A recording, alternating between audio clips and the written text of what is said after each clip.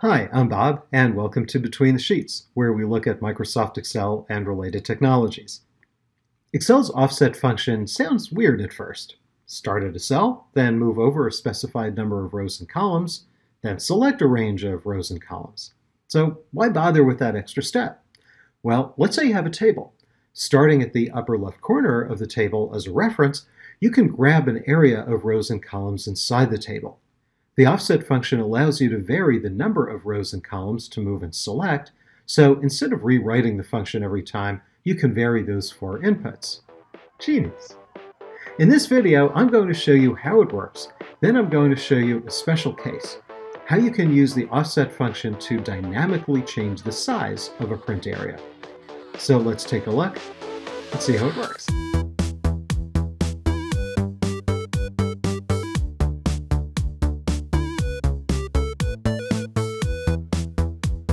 In this worksheet, we want to start in the upper left corner, right there in the employee name column header. And then from that, we want to grab various parts of the data area and output it somewhere else. Let's take a look at the syntax of the offset function first. The offset function has five arguments. We say equals offset, open the parenthesis, and the first argument is the reference cell. In this example, the reference cell is the column header of the first column. The second argument is how many rows down do we want to use? Next argument is how many columns over do we want? Now, once we've done that, once we put in those second two arguments, we now have a new starting point. So then with that starting point, the next argument is how many rows tall an area do we want? Could be just one column if we want. And then the last argument is how many columns wide do we want to grab. So what I'm going to do is I have some space up here on top. Let's just maybe start over there. So I'm going to say equals offset. Notice I could just type in the first few letters and the syntax helper comes in. I'll hit the tab key. So the reference is going to be that employee name column header, comma, now, how many rows down do I want? So let's say I want to go down three rows, comma, and I don't want to go over any columns. I want to stay in the current column, so I'm going to say zero, comma, how high do I want? Well, I want a single row, so I'm going to say one, and then I want five columns, so comma, five. Close the parenthesis and enter or control enter, and now I can see the name of the employee, and the four quarters. And there is, we can see there's Martha, and the numbers that we have here match the numbers that are up here. Notice that this does not take formatting. And if you want formatting, you have to go and do that additionally. Also, you'll notice this is a new type of function. This is one of the fill functions. So when I click on the cell where I typed in the formula, you see the formula looks normal. But if I click on any of the other cells, we see it's grayed out. And also we have this nice shaded border around it. Now, what if rather than outputting the info for Martha, what if I want to get the sum of those four numbers? And you could see over there, so here's Martha's row of info, and then over there at the end, we have that. So that's just going to confirm that we're doing it correctly. So what I'm going to do in this cell is I'm going to take the offset function and nest it inside the sum function. So I'm going to say equals sum, and in the parenthesis, I'm going to put an offset. So now I'm going to say, okay, we're going to start again at A6, comma, I want to go three rows down, comma, now I want to go one column across because that's where the first quarter is, that's where the numbers start, comma, and now the height, I still want to stay on this one row, so the height is going to be 1. It's going to be that one row, comma, and the width, I want to go and grab four cells to the right, four columns to the right, so I'm going to put in 4.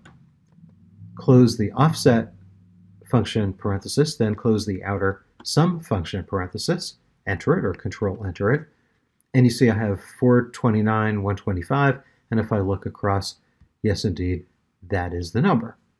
Okay, well, let's do this going down a column. I want to use the offset function to find the total of, let's say, the third quarter. So I'm just going to select and delete those so we have a little bit of space. And the third quarter, if we scroll down here, we can see there is the total, million, eight eighty one, etc. So again, I'll start up there.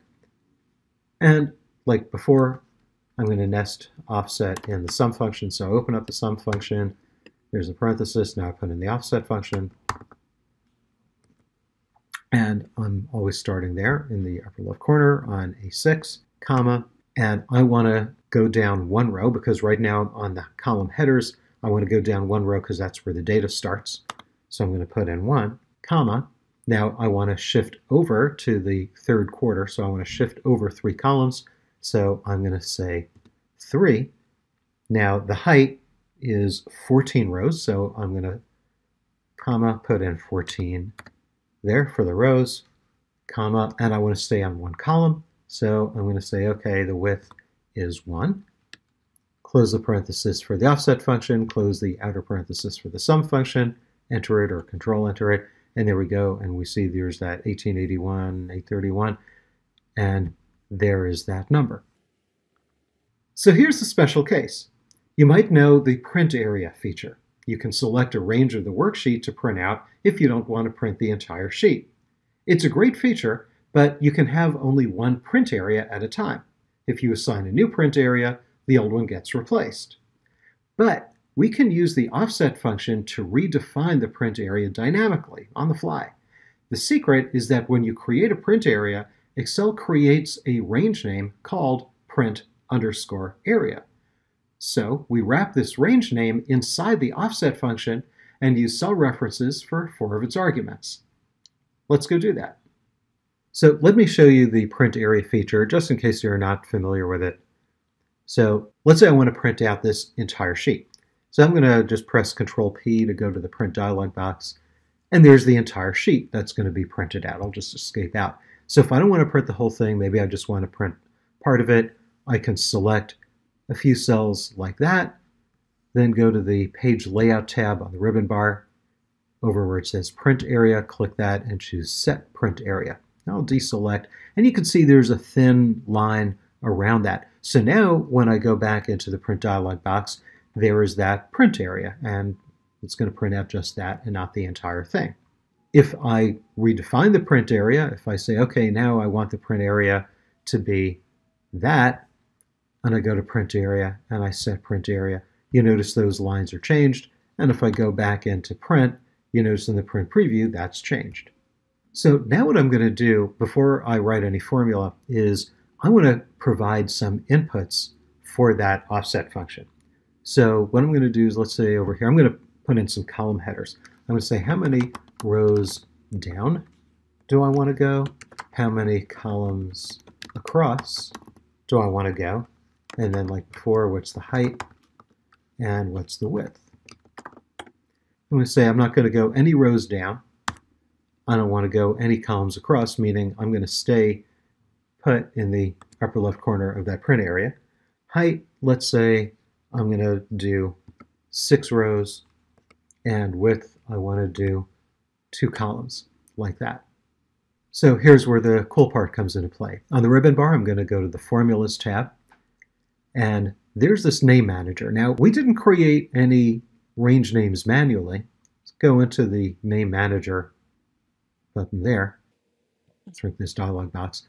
And you see there is that range name that Excel created for us automatically, print underscore area. And this is what it's referring to, is these particular cells. There is there are those cell references. It's very difficult to edit this, so I'm just going to select and delete the whole thing. And I'm going to put in the offset function manually, equals offset, open up the parenthesis, so the upper left corner, that's going to remain the same. So I'm going to make that the column header there in column A. Comma, so I'm putting a comma right there into the formula. So how many rows down? We're going to start like that, comma, columns across is that, comma, the height, we're going to start six rows up there, comma, the width, two columns right there.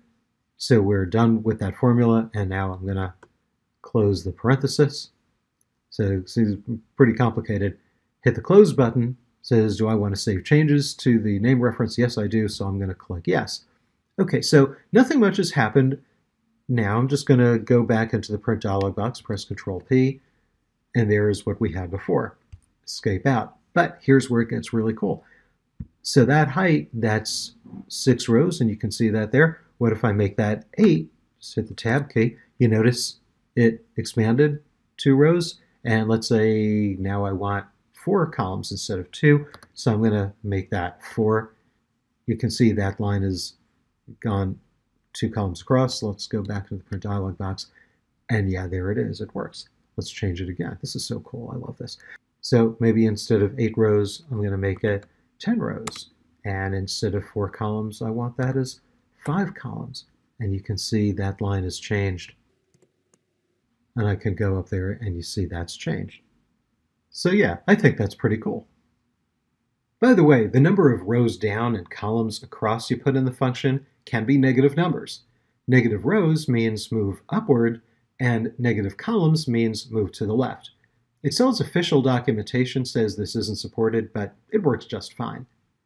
Anyway, you can say offset is a lookup function, but you see this works a little differently from xlookup. Of course, you can always nest offset inside xlookup. Good luck with that. If you have your own use for offset you'd like to share, leave a comment below. So until next time, my name is Bob, and this has been Between the Sheets.